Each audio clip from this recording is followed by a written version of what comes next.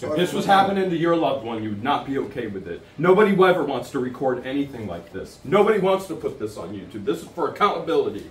You shouldn't put me in this position.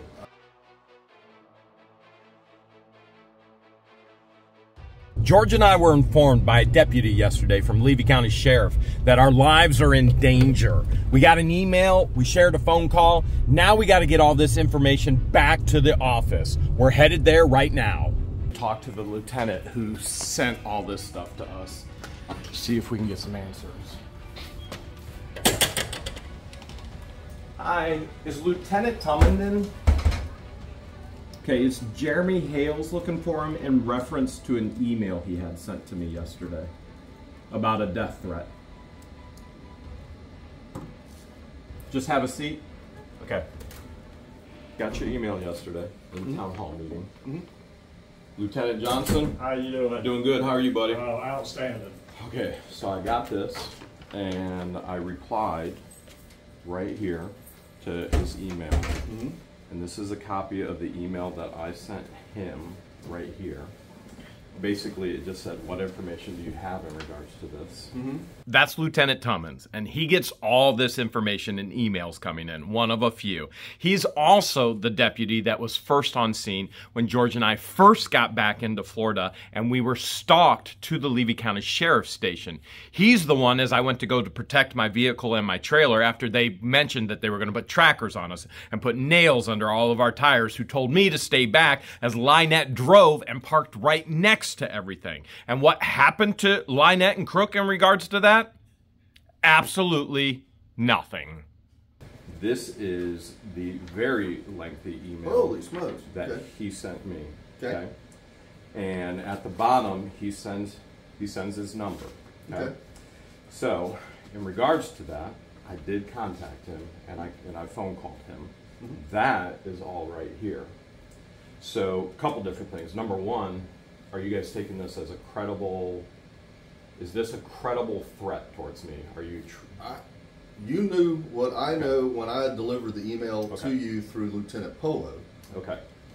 So and he says it was for your ears only in the email that yeah, came to it us. came to you, which is very odd. And and I have the video of our conversation here, which I think you're going to find odd as well. And yet at the same time, I I question him on things such as he says he's in Hong Kong, and the number the number I called is in Hong Kong.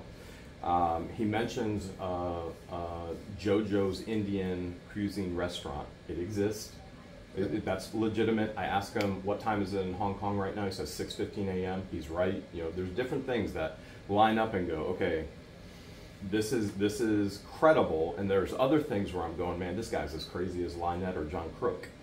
So what I'm doing, I came last night, but the office was closed, and I figured I would just talk to you since you sent it to me. Is give you so the just just communication. just for for clarity Yep. of your record and for ours, that email was sent through a contact us okay. through our webpage, and Okay. there's only a couple of recipients, as you can see in the in the recipient line, that get that. Okay. And you're one of them. I'm one of them, and I am the primary manager of this particular email address because they come to me. Yep. Most, you know, hey, I'm looking to get a job, or hey, you know.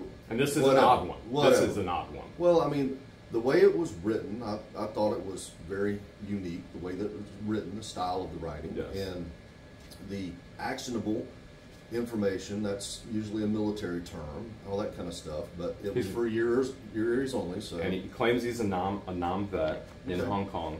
So basically, I, I guess where I'm at now is. So you got the information to me. Mm-hmm. You, you haven't. You, I, I don't know what your process is, whether it's a credible threat or not. But what I'm what I want to give you guys is the information from the email and the phone call for you guys to say, well, yes, it is, or no, it's not. First question: Did you notice notice him that you were recording that call? He knows. For, but but first answer doesn't matter. He's in Hong Kong, so we're not in a we're not in a two party consent. He's Okay. he's in a communist country. Doesn't matter. Okay, so does not matter. But he does know that I did record it. He does know that it's going to be up on YouTube. He does know that I'm bringing it to you. I Okay. mentioned that, and you're going to see it all that in here. Okay. Okay, so yes. Okay.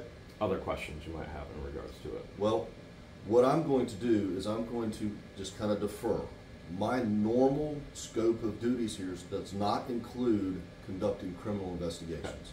So I'm going to get Lieutenant Anderson to receive this information from you so that he can get assigned to one of the deputies to start the investigation and probably filter it over to our criminal investigations division, depending on what information. And it's odd. I openly tell you, it's very, very odd. Okay. Very odd. But at the same time, I found there's aspects of credibility and there's aspects of oddities, and you know, better safe than sorry. Sure. In all reality, especially in my position, Sure. being online. Um, so I can give this to you, or you'll have him come out and get it. I'm, okay? gonna, I'm gonna go search Okay. Lieutenant Anderson out real quick and Okay. let him receive that from you. Okay. And, I'm not refusing to take it. It's just not. It's not normal scope of my yeah. I get it. I get it. 100. percent And it's So- very weird. It's very weird. I do. I have another weird question for you. Okay. I, I received no phone call in regards to the email. Nobody showed up at my properties, but a deputy knew that I was at the the community uh, meeting. How'd you guys even know? I received the information that was where you were at. Lieutenant Polo was standing there. I said, "Hey, would you mind did. delivering this to him?" So everybody just knew where I was. I don't know if that's concerning for me or if that's comforting for me, but uh, can you understand in my position? Here's what I think happened. George and I show up to the meeting. It is the county meeting with the commissioners. Two of those commissioners are kin or family to Russ the Sus, his son and his cousin. We show up at 8:30. Meeting starts at 9. Immediately, they're on the phone letting Beecham, who is the second in charge over at the Levy County Sheriff's Station, uh, or others know. Now, this is just all speculation. It's my opinion, and I may be completely wrong, but I think I've got it quite down to exactly what happened. Commissioners, whether it was Rocky, whether it was John, then going to the sheriff, uh oh, YouTuber, what the Hales is here? Jeremy and George are here. Do something! And there were deputies that were at that meeting. But that doesn't mean they had that information and then they go, oh, Jeremy Hales is at this meeting. Like, who in the world is out there texting everybody, all the sheriff deputies going, Jeremy Hales is here, Jeremy Hales is here, Jeremy Hales is here? you know, I've got all these things going on, which I'm sure you're aware of with my with my neighbors stalking. Levy County Sheriff deputies aren't arresting them every time they violate orders. You know, and I'm in a position of going. Amanda Martin's own son, who's married to Tom here, he he assaults me, and I'm in a position going, who do I trust? Who do I even trust? Okay. And so I'm in a position of, do I trust even the Levy County deputies, which I want to. And then I'm in a position where an email is sent to me, and how in the world did they know where I'm at? I didn't even get a phone call. I didn't even, nobody came to my properties, and I'm going, all right, is this a good thing they're keeping tabs and they know where I'm at for my safety and protection? Is this a bad thing that they're keeping tabs and know where I'm at? So I'm, I'm in that position too of going, okay, I'm getting all this garbage. I got stalking neighbors, and the deputies aren't arresting, and I don't know what's going on.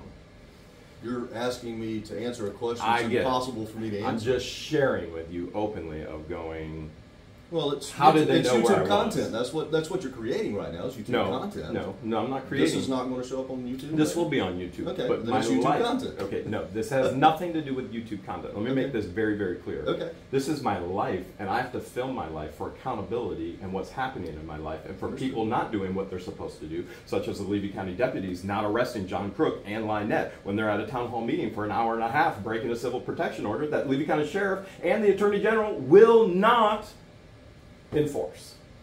This is not something I want on YouTube. You're- this is nothing I want on Okay. YouTube. I don't want this on YouTube. I don't want this on YouTube. I want to live my life in peace and do what I want to do without being in fear of my life. Okay. So I want to be very clear on that because I don't like how you just re- represented that to me that this is YouTube content. This is an aspect that I have to film this with you people for accountability.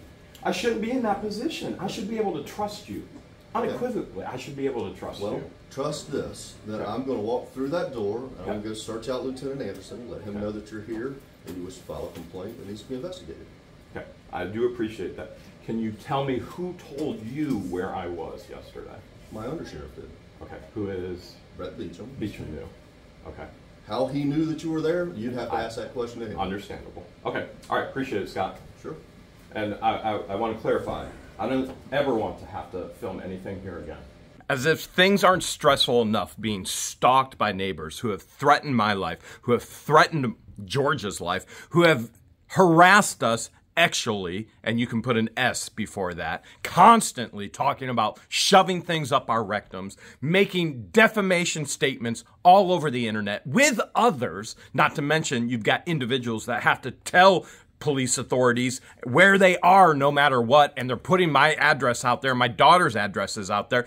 I have paid over $100,000 so far to make this mess disappear so I never have to do anything again. I've sent cease and desist. I got civil protection orders in Ohio. I'm in court in Florida. How in the world does this man have the nerve to say, oh, you're doing this for YouTube? Who in their right mind spends $100,000 to put it up on YouTube because they think it's for content, they think it's for money?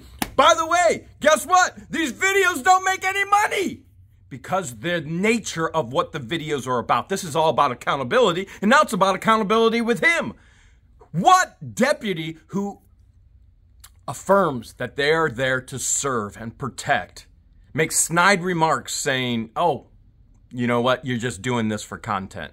Not okay. Even if he's thinking it, not okay that it comes out of his mouth. And it just proves that I have to film every single interaction with these people. Now, I want you to understand, I'm already stressed out beyond belief, all right? And there's already a tremendous amount of things on my shoulders. And he just, the sheriff deputy goes and jabs at me like that. It's about to get heated, but I do want to clarify as well. It is resolved. Now, whether it's resolved just for the camera or whether it's real resolution, time will tell. The detective that we're going to be talking to is the detective that actually came out to the ranch after Brian, our neighbor, drunkenly came over, trespassed on our property, then destroyed our property, and created the finger. And guess what happened? Nothing. How are y'all doing? Had better days, that's for sure. What's going on? Well, let me break it down for you. My card, the case number, I guess Lieutenant told me you got somebody threatening you or something, so we went over the case number. Yeah. So uh, yesterday, when we were at the town commissioner meeting, we got uh, a piece of paper by one of the deputies. So Scott sent one of the deputies sent this to me, and he said, "Hey, I don't know what it says. I read it, and it says there's a hit out on me."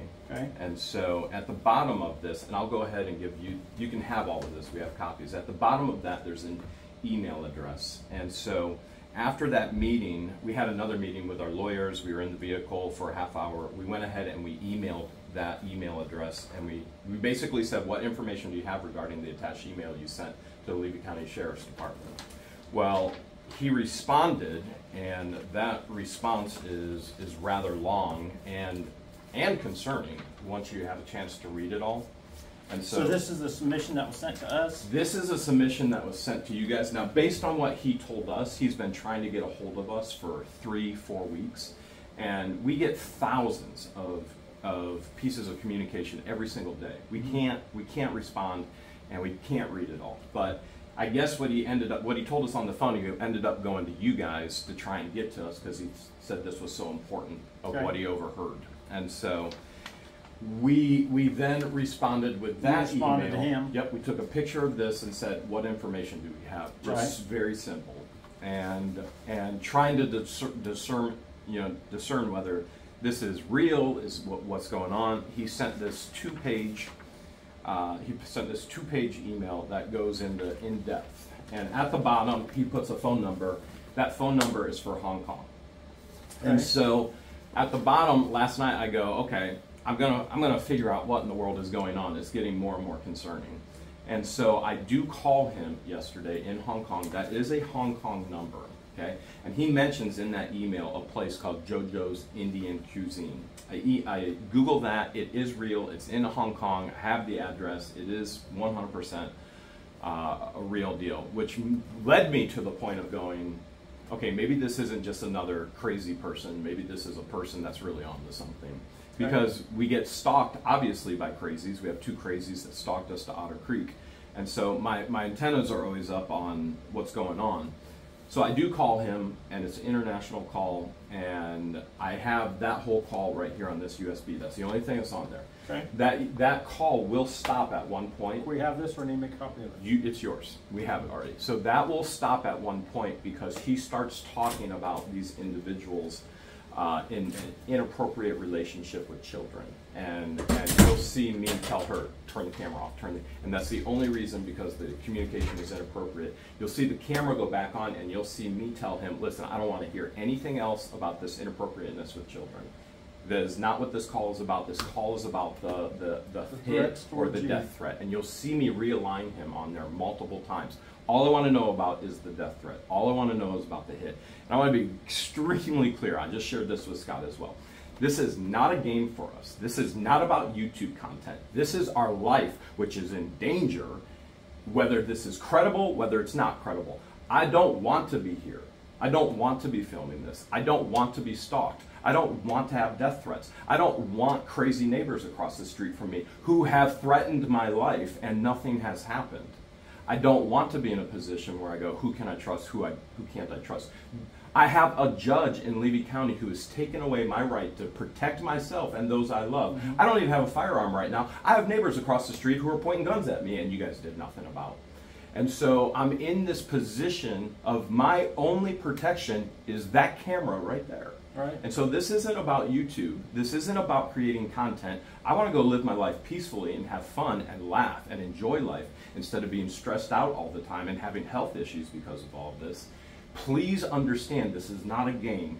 Please understand this has nothing to do about YouTube content. This has nothing to do about making money. This is our life. And we Right. don't know whether this is a credible threat or not. I understand. And you're going to see on the video, in here he says Mrs. Nasty or Miss Nasty Lady or something like that. On the video, I make him clarify who is that. He says Lynette Michelle.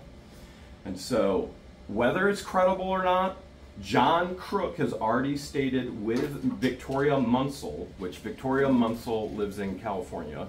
You're not going to see it on camera, but Victoria Munsell's information is with the Levy County Sheriff's Station. And yeah, she's stated all these things, she's done all these things. And right now, she still thinks, you know what, I'm getting away with this because I haven't gotten any legal paperwork yet. Marla Hughes still thinks, yeah, I'm getting away with this because I haven't gotten any paperwork yet. You know what? Lynette thinks she's getting away with it. I haven't gotten any paperwork yet. Except yesterday, Lynette and John Crook got served with federal court lawsuit. They didn't see that one coming, and I guarantee you, Victoria Munsell, Marla Hughes are guilty of things as well. And it is coming, and they keep adding on to it, and others as well. And the funny thing is, is they think with fake profiles they can get away with things. Everything has an IP address, and everything is trackable. Uh, they have both stated that they're going to put all of our information on the black web and they're going to attack us in every way they possibly can on the black web. This Victoria Munsell and who? She's in California, and we can give you all of her address and all of her information, and then John Cook, who we call Crook, to actually protect his identity online.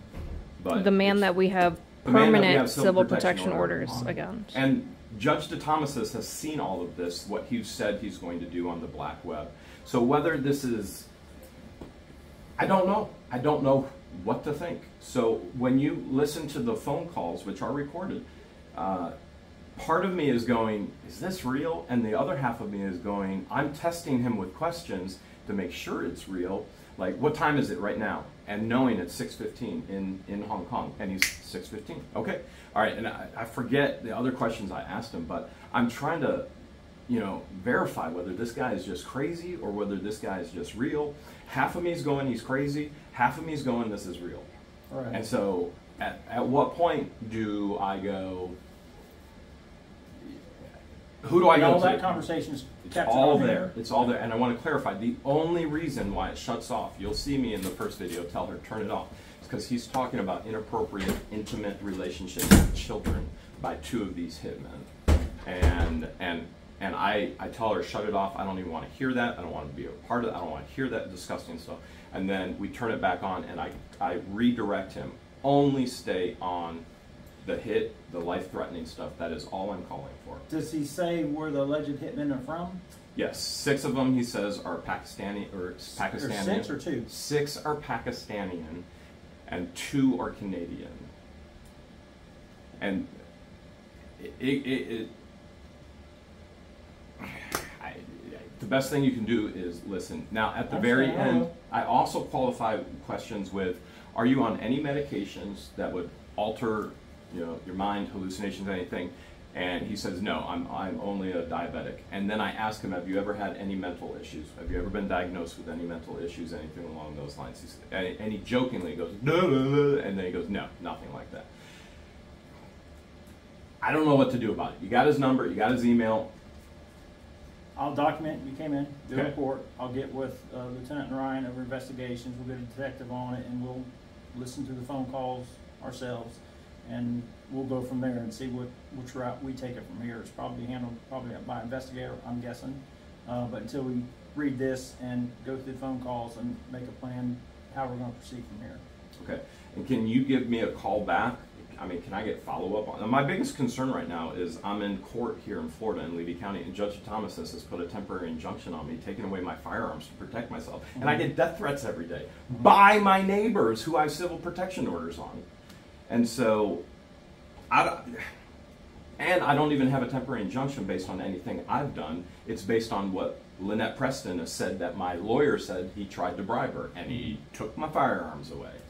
And so, what position does that leave me in right now when I get death threats every day? I get stalkers, I get cr- people so crazy they move in across the street from me begging for money. And now you add all this on top of it as well. This is not a game. This is not for YouTube. This is accountability, and I'm sick and tired of it. Understand? Give us, give us a day or so and let us pour through it and listen to phone calls and, you know, see where we go from here. You got my, uh, card, case number, and we'll get back with you. Today's Wednesday, probably hear from us maybe tomorrow or Friday at latest, kinda let you know where we're going with it. Okay, All right. anything else?